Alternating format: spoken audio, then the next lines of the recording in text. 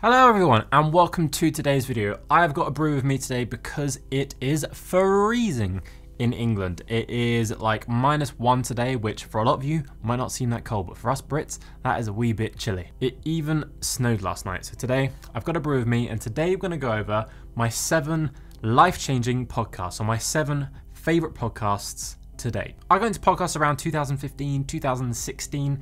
I was working in what you'd probably class as a warehouse at the time and I was packing boxes. That was my job role.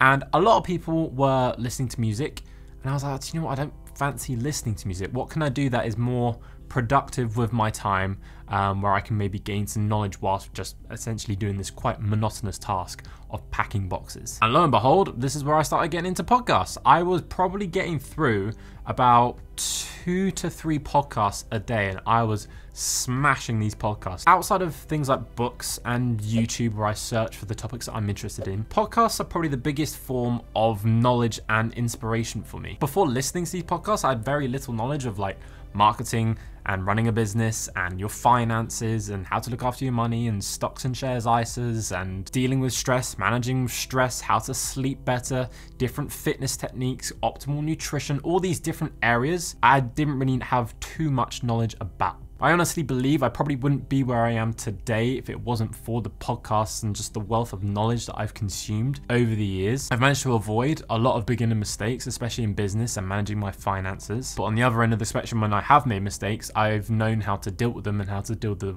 the stress that comes with those mistakes. So in today's video, I'm just gonna cover some of my favorite podcasts that I listen to, maybe some of my favorite episodes within those podcasts, and hopefully there's a few there where you're like, ah, that's relatable to me, or ah, that sounds interesting, and you might give it a listen or in some cases, a watch. My first podcast on my list of podcasts that I feel that you should listen to is How I Built This by Guy Raz. The reason this is the first podcast that I'm going to mention is because it's probably the first podcast that I actually started listening to, or the first podcast where I was like, wow, this is really good, and I listened to episode after episode after episode. I love this podcast because it's so well paced, it's so well, just so well made. There's music in it, there's breaks in it at the right point.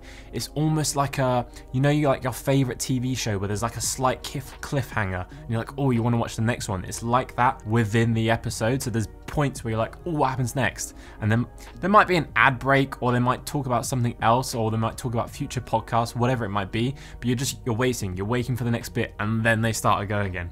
It's so well made. Now I'm going to butcher some of these names, but some of my favorite episodes were like the earlier ones because they were what I started listening to. So this was, like I say, like 2015, 16. So like six years ago, something like that, which is mental to think about now. But some of my favorite episodes were Blake Mycoskie. I believe that was his name, but essentially he's the CEO of Tom's the Shoe. That was a really good podcast to listen to. That was a very, very good episode. And the next one is Ben Cohen and Jerry Greenfield, which you might better know as Ben and Jerry's. I'm sure you've heard of Ben and Jerry's. And that episode is sort of just discussing their journey of how they came about with Ben and Jerry's, how the, how it became what it became. And that's what I love about it is in these episodes, it's pretty much rather than focusing on like the successes and the successes, it focuses a lot of the failures that they went through. And this went wrong, this went wrong, this went wrong, this went wrong. But then again, how they learned from those failures. I think that's my favorite th- thing about the podcast. You might be thinking like it's quite hard to relate to maybe such a big company like, for example, Ben and Jerry's or Tom's, but the thing is because these mistakes are so early on on the journey of these companies that they could be relatable to you now. You might be going through those very similar steps and that's why I like it because it focuses on the early steps. Now, if you're into your self development stuff, then I'm sure you've heard of my next podcast, which is The Tim Ferriss Show. Now, again, I probably haven't listened to this podcast now for a good couple of years, but alongside How I Built This with Guy Raz, those two podcasts together are probably the only podcasts I listened to for like a good couple of years. Like, they were the only ones I listened to. It was like Guy Raz, Tim Ferriss, Guy Raz, Tim Ferriss, and I would just rotate those two every single day. So, the reason I wanted to mention it is because one, it's still a very, very good podcast podcast, and also he's got some good books. But two, it's it's one of those ones that kick started my journey into podcast. Now, obviously, the previous podcast with Guy Raz was very much business focused on building a business, building a brand, whereas the Tim Ferriss show is very much based on self development, how you as an individual can be a better person, whether that's through sleep, whether that's through nutrition, versus that's through the hours you work in the day, whether that's the books that you read, whatever it might be. That's the area that he explores, and that's probably what got me into my own self development journey. The reason I love this podcast so much is because Tim really does bring on some really good guests, and they're typically like the best in their field, or at least very highly regarded in their field. And the good thing about that is you it gives you a little bit of snippet into what they know, and you can learn a bit. But obviously, there's so much, there's only so much you can learn in an hour or two of a podcast. So what I typically find is once I find someone like I really resonate with this person, and I really like their methodolo- methodologies, methodologies methodologies. I don't know if I'm saying that right. I feel like I am. We will continue. But if I like what they are saying, then I tend to find myself going on this rabbit hole, researching this person and every other podcast that they've done, the papers that they've written, the books that they've written, whatever it might be. I'm like, I like this person, I'm going to find out more about them. And it's just very much a, a self exploration by learning from these other people. And once I go down these rabbit holes, I just pick different things that I like and I'm like, I'm going to apply that to my own life and see if I like it or not. So the Tim Ferriss podcast, definitely a podcast worth checking out. He's also written a lot of books, so check those out as well. Now, this next podcast, I'm sure you have all heard of it, especially in recent years. It has gone from sort of like that to like that in the last couple of years. And the guests that this guy's got on have been incredible. Some of them are, I don't even know how he's got them on the podcast. And that is The Diary of a CEO by Stephen Bartlett. Now, without tooting my own horn, I would like to say that I am a founding member of the Diary of the CEO. I know there's no such thing, but I would like to say that I'm probably one of the founding members if there was a founding members club. And the reason I say that is because prior to the podcast going live, Stephen Bartlett used to do like a vlog, kind of like Gary Vee sort of style, like five, six years ago. I used to be obsessed with it. I loved it. And then I found out that he started making a podcast. And in this podcast, it was literally just him with a microphone in his like cupboard or wherever he might have been, just chatting, just talking about things that he's learned. So it was no, no nothing like it is now where he's interviewing people and there's this all grand setup. At the time, it was literally just a podcast, so audio only and it was just him talking about different things that had happened in the week and things that he'd learned from. And that was years ago. That was like five, like say five years ago, maybe six years ago, something along those lines. But yeah, it really is amazing to see the growth that he's had over, especially last like two years. Like if you could probably look at the the number of listeners or subscribers or whatever it might be, it is literally like this. It's crazy. I would definitely say this is my favorite podcast of all the podcasts that I listen to at the moment. I haven't missed an episode. Even with people that I'm not too sure who they are or too interested in what they do, I still find myself listening to the episode because I feel like I could pull some nugget of information from it. And this is also a podcast that I do my best to make sure I watch the video version because I always find you get so much more when you actually visually see the person. You can see their body language, you can see their facial expressions. You just get a bit more emotion from it. Whereas the audio, obviously the audio is fantastic, it's very good quality audio as well. Sometimes I just want a bit more. I want to be able to actually see the person who I'm listening to. So of all the podcasts that I mentioned today, if you're not listening to it already, The Diary of the CEO has to be on your go-to list. Next up in the world of podcasts, we have Deep Dive with Ali Abdaal. Now, the reason I love this podcast so much is because Ali does a very good job of putting himself in the shoes of the listener. He almost interviews the guest as if he was the listener in the sense of he's extracting information that he wants to know himself and hopefully the listener also wants to know that information. I would say I listen to about 70% of the episodes that Ali puts out. And the reason it's not like I don't listen to all of them is because I do find there is a lot of crossover between Ali's podcast and the Diary of CEO. However, what I will say is if it's a guest that Ali's got on who's already been on the Diary of a CEO, but I really liked that guest, I'm like, great, this is just another opportunity to maybe get some more information for this person because I loved that podcast so much in the first place. So, okay, cool. This person was really good. I really enjoyed them in the Diary of CEO. So, this is another opportunity opportunity to get even more information from. Ali Abdaal's podcast, no matter what, is still a very good podcast. One to watch because the production is very, very good, but also to listen to as well if you're just driving around, whatever it might be. Maybe you're going for a walk. The audio quality is very good. He's very good at interviewing the guests. He's very good at extracting information, just like Stephen Bartlett is. So again, a very good podcast to listen to. Right, so the previous podcast have focused very much on business in the sense of the diary of the CEO. I'd say that's quite businessy, quite self-developmenty, but very much businessy as well. A lot of business people in there. Then you've got um, how I built this with Guy Raz. That's very much businessy. Then the self development ones, which with Ali Abdaal and Tim Ferriss.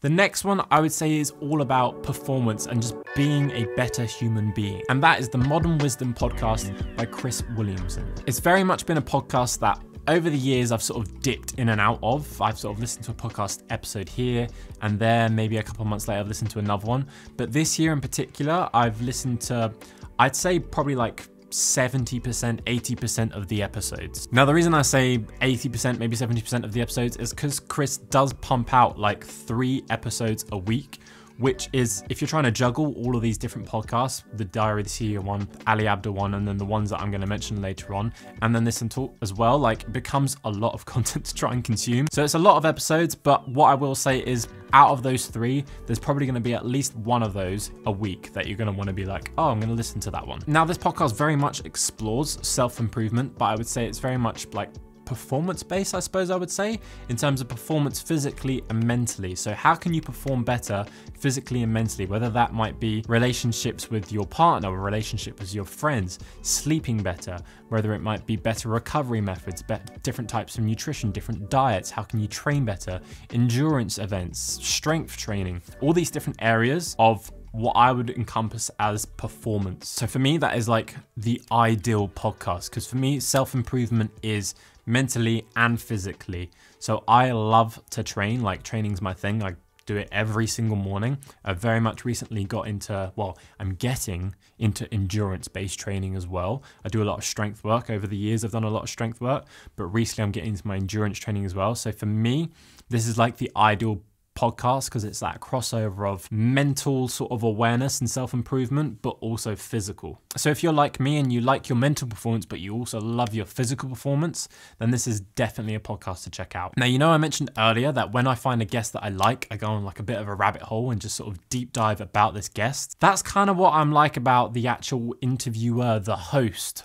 of this next podcast. So my next podcast is the Rich Roll podcast. Rich Roll is he's an athlete. He's an ultra endurance event competitor. He is a wellness advocate. Despite his podcast launching in I think it was 2013, I've pretty much only listened to his podcast the last couple of months. In fact, the only reason I started listening to this podcast is because it came up as a suggested video on my YouTube and the guest was Casey Neistat. Now, Casey has been a big influence in my life over the last few years. In fact, he's probably been a big influence on a lot of people's lives. So I was like, oh, this looks good. And as soon as I clicked on it, I saw the production quality. I was like, wow, this looks incredible. And then I sort of just, you know, you click on videos, you explore the other videos, and I was looking at all of them. I was like, these all look incredible. So like I say, since watching that episode, I actually watched that one. I didn't listen to it. Well, obviously I listened to it as well, but I, I watched it on the video version on YouTube.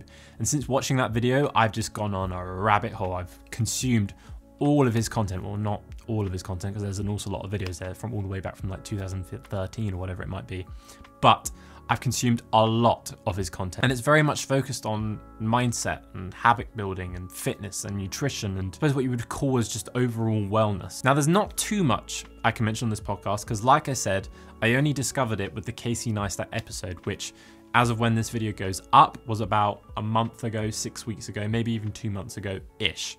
So I've only had a short period of time to consume this content, but what I've consumed so far, I've taken so much information from where I'm just like, feel like this has to go on my list. And the final podcast, which is also more of a YouTube channel as well, and that is the Colin and Samir Show. Now, unsurprisingly, the Colin and Samir Show is presented by Colin and Samir. And their, their YouTube banner, you know, your YouTube channel art, perfectly describes what the channel is about, and it's about creators for creators. That just like perfectly sums up the channel. Now, if you like watching creators on YouTube, then this is the podcast for you because it very much focuses on YouTube creators. Now, they have chatted with the likes of Mr. Beast. They've chatted with Mr. Beast's manager, which was a very interesting one. They've chatted with MKBHD. They've chatted with Binging with Babish. They've chatted with Yes Theory. They've chatted with all these massive creators on the YouTube platform. And they're essentially just doing like a bit of a deep dive in, into the person, who they are, where they came from, their background, about their channels, just everything to do with the creator. Essentially, imagine like a, a media company or a broadcaster, and their niche, the people that they focus on, is creators, and their audience is also people who watch those creators. They essentially report on all the latest news on creators and just sort of push it out to you. It's not news in the sense of like, oh, your favorite creator has gone vegan or whatever it might be, whatever the headline might be. It's more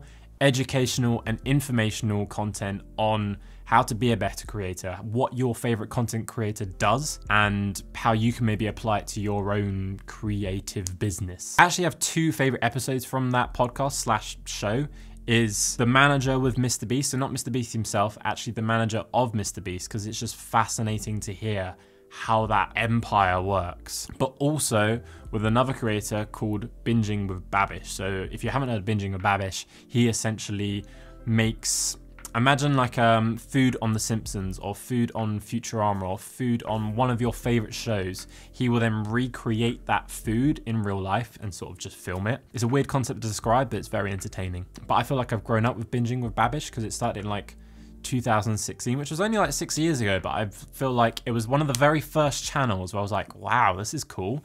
And I just like, I watched every single one every time it was released. So if you're into your creators, maybe want to know a little bit more about them, then this is definitely the podcast for you. It's on Spotify, I believe, um, and obviously you can watch the YouTube version as well. Now, if there's any podcasts that I've missed off that list where you're like, this podcast is phenomenal, why did you not include it? Put it down in the comment section down below because I'm interested to see what podcasts you also listen to. Now, if you did enjoy this video, then please do me a big favor, hit the thumbs up, hit the likes button, and if you want to see more of these videos, then hit the subscribe button. And that is it from me. I shall see you lovely lot in the next video.